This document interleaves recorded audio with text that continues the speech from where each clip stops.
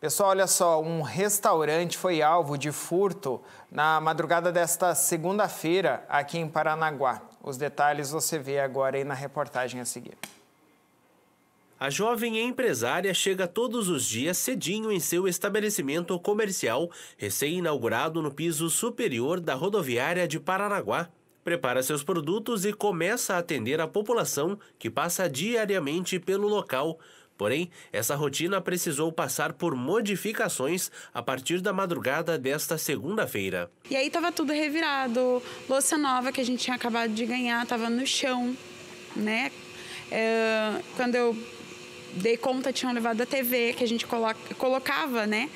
Para entreter até mesmo as pessoas que chegavam, que chegam aqui, porque nós atendemos um fluxo de pessoas aqui da rodoviária com o intuito de oferecer qualidade no atendimento mesmo, né? E muita gente fica uma, duas horas sentadas nas nossas mesas aguardando. Após entrarem aqui no estabelecimento comercial, os indivíduos deixaram para trás, primeiramente, marcas dos pés pelas paredes. Inclusive, uma delas ficou danificada.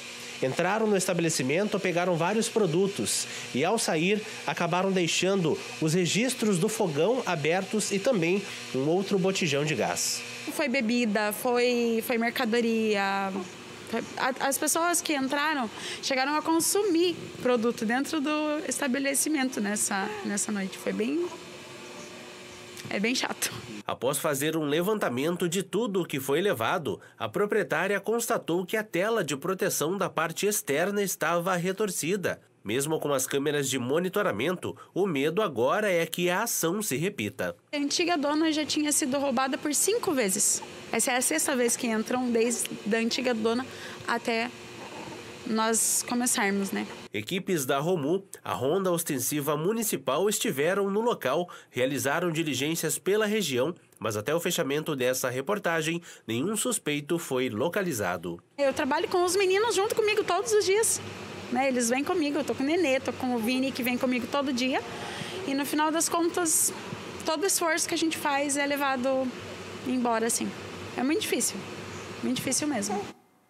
Que pena, né? Complicado demais. A pessoa trabalha bastante para conseguir o sustento para sua família, infelizmente é acordada, né, com uma situação desagradável dessa. Uh, e é um espaço público municipal. A gente pede até para que a guarda, se possível, para que compareça mais ali ao espaço, né, para tentar gerar mais ali essa essa sensação de segurança ali para os moradores e de fato empregar essa segurança, né, por lá.